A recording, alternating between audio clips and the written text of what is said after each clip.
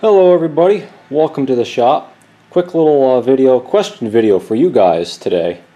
Um, I found this very interesting piece.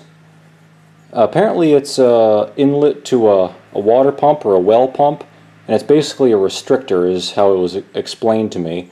But it's uh, very interesting. Obviously this threads into the uh, inlet of the pump, I guess.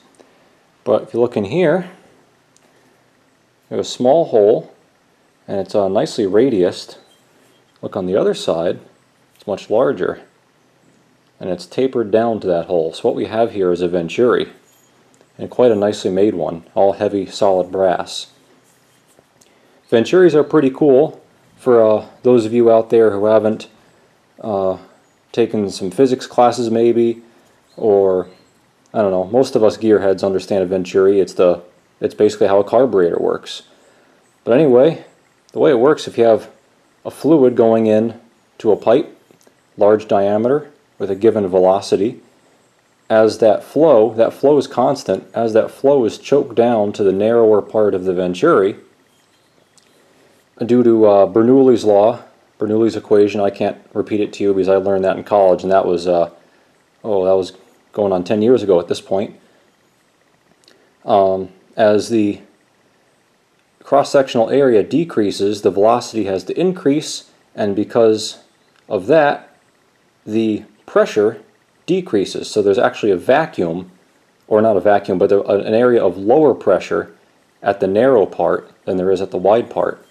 And if this was a carburetor, that's where the fuel needle would be, and that vacuum or that lower pressure area would suck fuel and atomize it into the stream of, of air, into the engine. But anyway, of course, this isn't a carburetor, but it's uh, very similar. It's really neat. I grabbed it because, well, because of that, and I feel like there's something cool I can do with this but I just don't know what.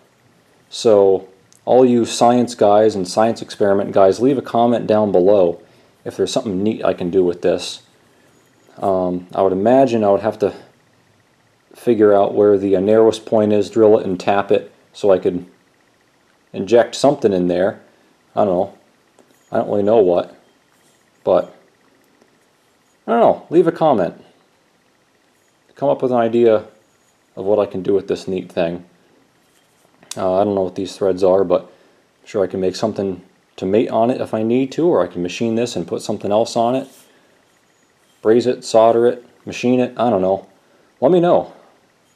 And uh, if we come up with a good idea, I'll make some videos of me making whatever contraption uh, we might come up with for this. So anyway, thanks for watching everybody.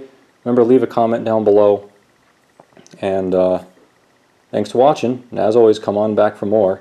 And if you want to see what happens with this, make sure to hit the subscribe button and the like button, of course. Thanks for watching, everybody. Stay tuned for more.